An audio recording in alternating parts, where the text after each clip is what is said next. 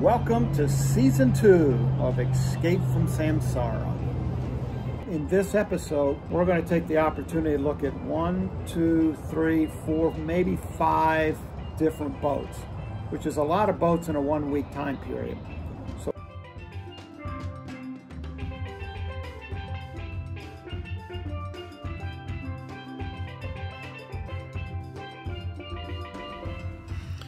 Well, just another day here at the candle factory, but we are making some progress on getting ready to go see another Lagoon 420. I think Stephanie's downstairs scheduling some flights right now. So when we go down and check on her, see what she has to say, see how things are going on that front.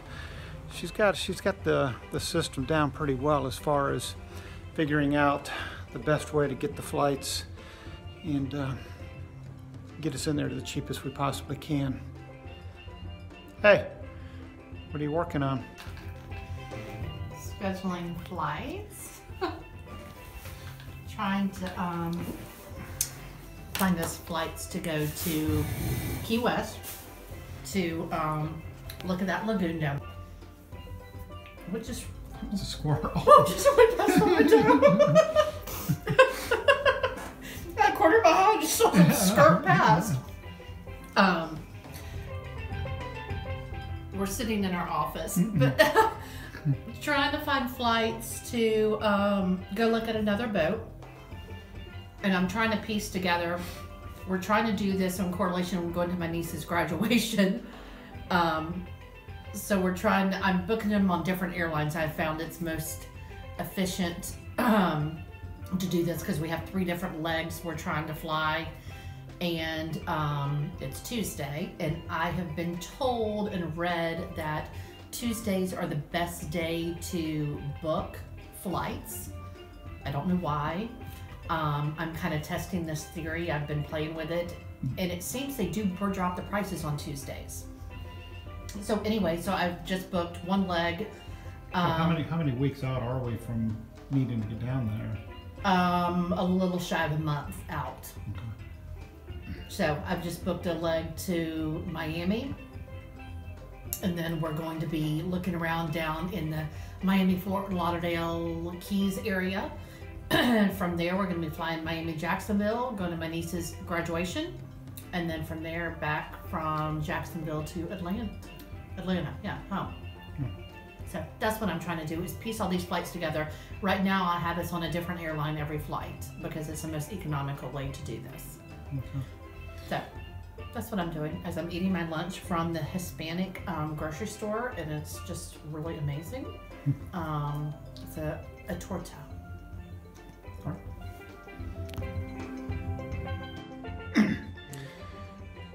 Something I did, knowing that we found out that we're going to be in Jacksonville on a business day, not a weekend, uh, discovered that in the St. Augustine area there seems to be a lot of cats, and uh, the catamaran company's got an office there.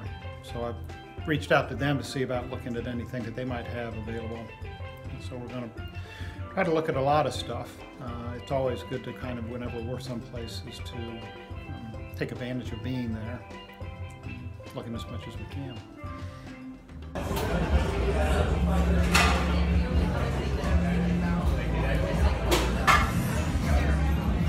Leg one, first boat, headed to Fort Lauderdale out of Atlanta.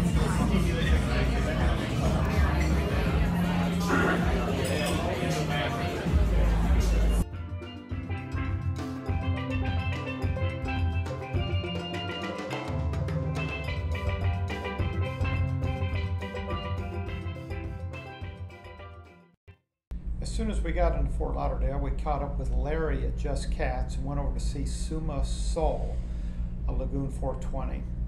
While it's a nice enough boat, the primary thing that stuck out to us was the cork flooring or decking that they put all over it. Just didn't look right.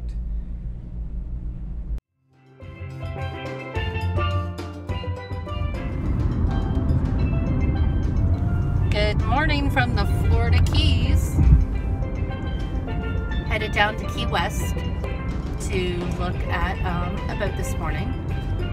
Flew in yesterday to Fort Lauderdale.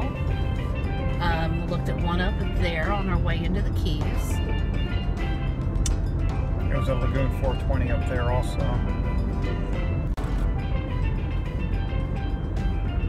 Travel was fine. Yeah, a Had little bit of chaos. A little bit of chaos when Car rental um, error made at a wrong location, but it, it all worked out. But we're in one, so it worked out. we're moving. the key to traveling we've learned is to Roll with it. roll with it. Just figure it out as you go along. But yeah, this morning should be pretty interesting. Uh, we have this boat down in Key West we want to look at. Uh, then we'll spend the rest of the day down there. I'm anticipating kind of looking around the marinas and whatnot and seeing what else might be available down there. You might see a, a boat with a for sale sign on it or something we didn't know about, so we'll look at those. Hold on, gonna pan out. Um, we're headed, I think we're about to cross over into Marathon Key right now.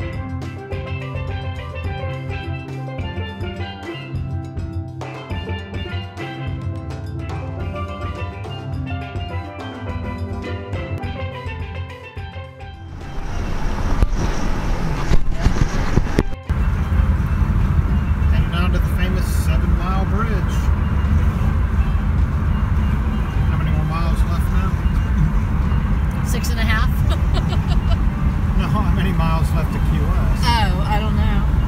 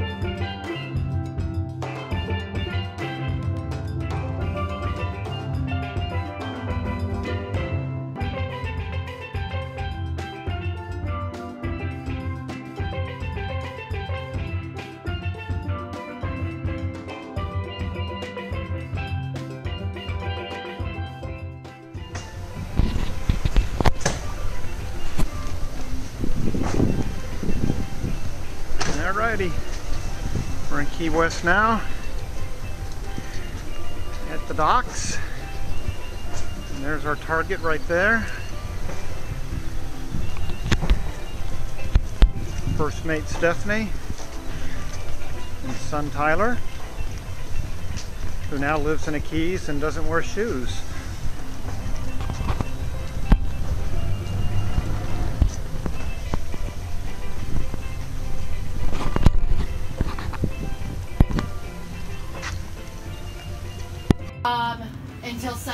Sunday, then we're flying to Jacksonville for my niece's graduation. And then flying from Jacksonville to on Wednesday. This is Tyler. Yes. He's so happy.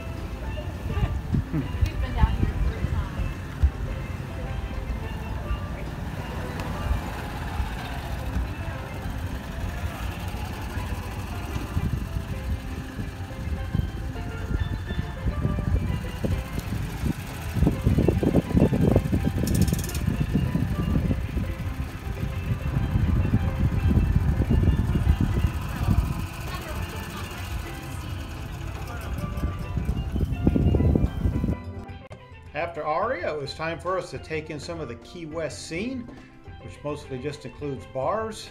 Picked up a couple of cigars, walked around, and had a good time with our son. At the end of the day, we headed north up the Marathon and got a hotel room. And then we spent the next day just sitting around waiting to see the Lagoon 380 that we were there to see. Checked out some of the sights, ate some of the food. A lot of it was just sitting in a car waiting for the rain to go by. Finally, it was time to get back on a flight and head to Jacksonville, where we met up with our oldest son, Parker, and we took him with us over to the St. Augustine Marina area to check out some boats. This is the first time that he has seen the types of boats that we are looking at. And uh, I think he was quite uh, surprised at how big they actually were. This here is a Fountaine Pajot. It's the Oriana. Really nice boat, great layout. Something we really do like the Fountaine Pajots. Unfortunately, this one was just a little bit out of our price range. It's not something we were going to be able to do. So what was the result of our trip? We saw one boat down in Fort Lauderdale, second boat down in Key West, third boat in Marathon, fourth boat up in St. Augustine. There's a fifth boat in there, I can't remember what it was called. And what we came away with was we made an offer on a boat, the one down in Key West, Aria. We look forward to moving forward with it. And as soon as we can get that house sold, which is a contingency that we put on the boat, we're gonna be out of here. So we're happy campers now. I think we found the boat that we want.